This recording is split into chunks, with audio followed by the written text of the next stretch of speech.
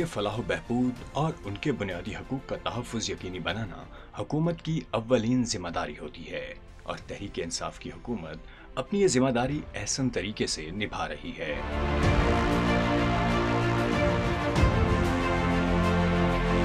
पाकिस्तान का शुमार दुनिया के तरक्की पजीर ममालिक में होता है। वजी अजम पाकिस्तान जनाब इमरान खान की क्यादत में जब तहरीक इंसाफ की हुकूमत ने इकतदार संभाला उस वक्त वतन अज़ीज़ की मीशत जबू हाली का शिकार थी। इस तरह तहरीक इंसाफ की हुकूमत के लिए इकतदार फूलों की सेज नहीं थी, बल्कि जिम्मेदारियों का एक पुरखार रास्ता था, जिसे कदम संभाल संभाल कर तय करना था। और वजी अजम पाकिस्तान जनाब इमरान खान ने अपनी कायदाना सलाहियतों को बरुए कार लाते हुए साबित किया कि खेल के मैदान हूँ या इकतदार के ऐवान, कप्तान कप्तान होता है। उन्होंने कोरोना वायरस को कंट्रोल करने के लिए कौम को हौसला देते हुए मुकम्मल लॉकडाउन की बजाय स्मार्ट लॉकडाउन को तरजीह दी और बेजा तनकीद को खंदा पेशानी से बर्दाश्त किया। हुकूमत की मौसर हमत अमली और बर वक्त उठाए गए इकदाम की वजह से कोरोना वायरस दम तोड़ रहा है और ज़िंदगी दबे पाँव अपने मामूलात की जानब पलट रही है। वजी अजम इमरान खान ने दूर अंदेशी का मुजाहरा करते हुए हमेशा पाकिस्तान के मजदूर तबके को उठाने और उन्हें ज़िंदगी की सहूलियात देने की बात की है। कोरोना वायरस को कंट्रोल करने के लिए मुकम्मल लॉकडाउन की हिकमत अमली भी उन्होंने इसलिए रद्द कर दी कि मेरे मुल्क के गरीब और दिहाड़ीदार कैसे ज़िंदगी बसर कर सकेंगे। उनकी दानिशमंदाना पॉलिसी के सबब वतन अज़ीज़ में लोग भूखो अफलास का शिकार नहीं हुए और न ही आवाम को एशियाई खुर्दनोश की किल्लत से दो चार होना पड़ा। हुकूमत ने वबा के हवाले से National Command and Operation Centre N C O C तश्कील दिया। जिसमें मुल्क भर से नुमाइंदों को बिठाया गया और आवाम को आलमी वबा के हवाले से मुकम्मल आगाही देने के साथ साथ उन्हें एहतियाती तदाबीर और इसके मजमरात से भी आगाह रखा गया। एहतियाती तदाबीर पर अमल करवाने की वजह से वतन अज़ीज़ में कोरोना वायरस के मरीजों में 28 फ़ीसद कमी हुई है। इस तरह हुकूमत ने रिसोर्स मैनेजमेंट सिस्टम के ज़रिए मुल्क भर के तीन हज़ार पाँच सौ बहत्तर अस्पतालों से डाटा इकट्ठा किया और एनसीओसी ने वेंटिलेटर्स की दस्तियाबी के हवाले से जानने के लिए पाक निगेबान के नाम से एक ऐप शुरू की, ताकि लोगों को इस हवाले से आगाह रखा जा सके।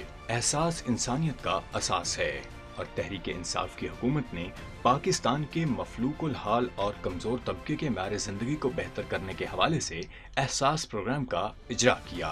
जिसके तहत एक करोड़ लोगों को इंसाफ कार्ड की फरहमी और 200 पनाहगाहें बनाई गई हैं, जहाँ योमिया 1500 से ज़्यादा लोगों को खाना दिया जाता है।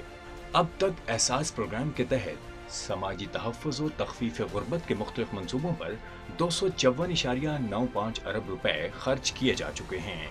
इस प्रोग्राम के तहत सात लाख अस्सी हज़ार नौ सौ चौंतीस लोगों को बिलासूद कर्जे देने के लिए हुकूमत ने छब्बीस इशारिया नौ दो अरब रुपए खर्च किए हैं। एहसास कफालत से 45 लाख से ज़्यादा मुस्तक खातन को फ़ायदा हो चुका है।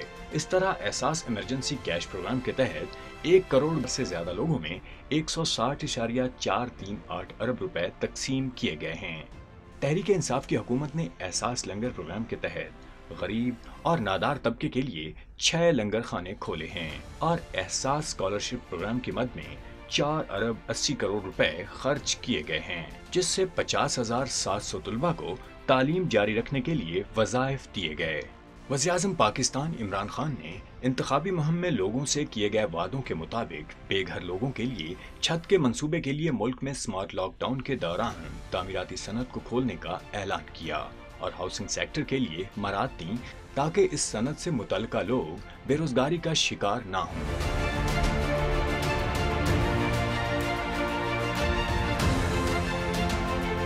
तामीरी शोबे के खुलने से 40 मजीद सनतों का पहिया भी चल पड़ा है।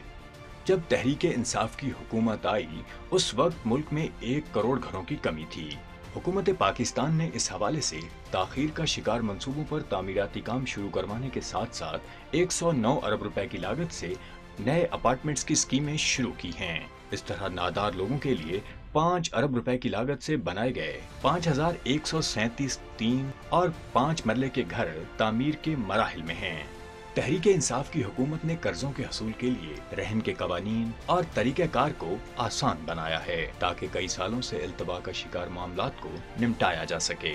हुकूमत ने तमाम बैंकों को हिदायत दी हैं कि वो अपने सरमाए का पाँच फ़ीसद तामीराती शोबे के लिए मुख्त करें। इस तरह शर्र सूद में भी कमी की गई है और नादार लोगों के लिए बिला सूद कर्जों की फरहमी का सिलसिला जारी है। इन मामला में मौसर नज्म जब्त के लिए हुकूमत ने नया पाकिस्तान हाउसिंग अथॉरिटी का कयाम अमल में लाया है, जो मुल्क भर में जारी तामीराती कामों की निगरानी कर रही है। तहरीक इंसाफ की हुकूमत सिर्फ़ लोगों की छत और रोज़गार के हवाले से ही काम नहीं कर रही, बल्कि आने वाली नस्लों को साफ़ सुथरा और सेहतमंद माहौल देने के लिए अरबों दरख्त लगाने के मंसूबे पर भी अमल कर रही है। इस हवाले से मुल्क की तारीख में सबसे बड़ी शजरकारी मुहिम का आगाज़ कर दिया गया है। इस मुहिम के पहले दिन 35 लाख पौधे लगाए गए। और जून 2021 तक एक अरब दरख्त लगाने का हदफ रखा गया है। ये मुहिम मुल्क भर में 10 अरब दरख्त लगाने का हदफ हासिल करने के लिए शुरू की गई है। पहले मरहले में तीन अरब 22 करोड़ दरख्त लगाए जाएँगे। इस तरह जंगलात के शोबे में इस मुहिम की वजह से अगले चार सालों में 10 लाख लोगों के लिए रोज़गार के मौाक़े पैदा होंगे। इस वक्त तक 324 मिलियन पौधे लगाए जा चुके हैं और पचासी हज़ार लोगों को रोज़गार के मौाक़े मैसर आए हैं।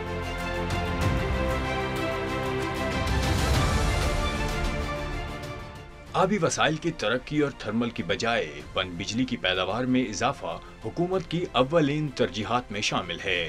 इस सिम में दियामिर भाषा डैम का अफ्ताह एक संग मील की हैसियत रखता है। इस डैम की तामीर से 4500 मेगावाट बिजली की फराहमी और ज़रात के लिए मुनासिब मकदार में पानी की दस्तियाबी मुमकिन होगी।